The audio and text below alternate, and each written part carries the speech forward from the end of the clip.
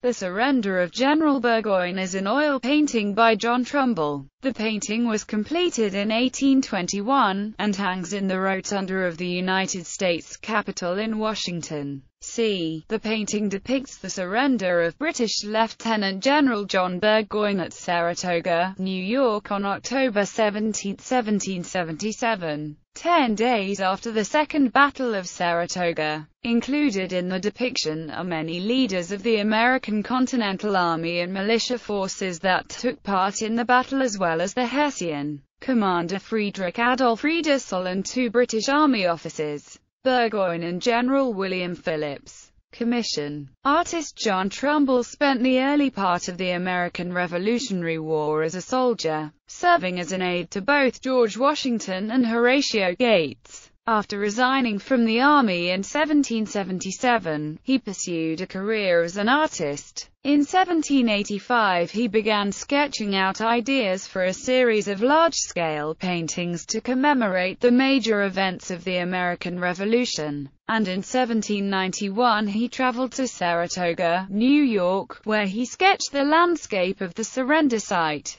Upon his return from Britain after the end of the War of 1812, he promoted this idea to the United States Congress. On the strength of his application and the successful exhibition of Battle of Bunker's Hill, Death of Montgomery, as well as studies for other proposed paintings, the Congress in 1817 voted to commission four large paintings from him, to be hung in the United States Capitol Rotunda. The price was set at $8,000 per painting, with the size and subject matter to be determined by President James Madison. A size of 12 by 18 feet was agreed, as was the subject matter for the four paintings the Declaration of Independence, the surrender of General Burgoyne, the surrender of Lord Cornwallis, and Washington resigning his commission. Trumbull spent the next eight years executing the commission, completing this painting in late 1821. It was first displayed in New York City from January to March 1822, and Trumbull supervised its hanging in the Capitol Rotunda in 1824. It has remained there ever since.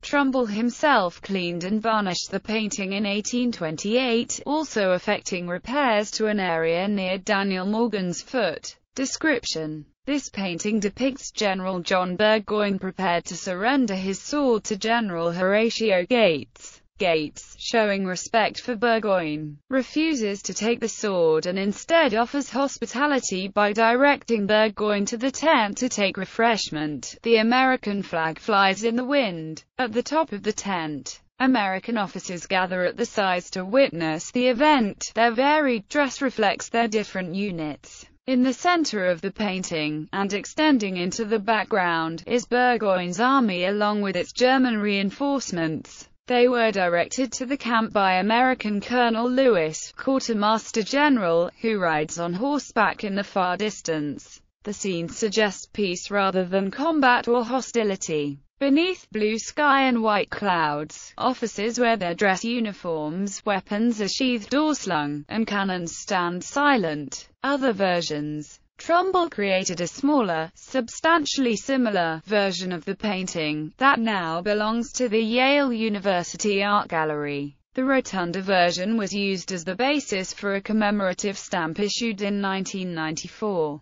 People depicted. This list is provided by Weir. 69. The people depicted are listed approximately from left to right. Major Lithgow, Colonel Cilley, Brigadier General John Stark, Captain Seymour, Major Isaac Hull, Colonel Greaton, Major Henry Dearborn, Colonel Alexander Scammell, Colonel Lewis, Brigadier General William Phillips, Lieutenant General John Burgoyne, Lieutenant General Baron Friedrich Adolf Riedesel, Colonel James Wilkinson, Major General Horatio Gates, Colonel William Prescott, Colonel Daniel Morgan, Brigadier General Rufus Putnam, Lieutenant Colonel John Brooks, Reverend Mr. Hitchcock, Major Robert Troup, Major Haskell, Major Armstrong, Major General Philip Schuyler, Brigadier General John Glover, Brigadier General William Whipple, Major Matthew Clarkson, Major Ebenezer Stevens,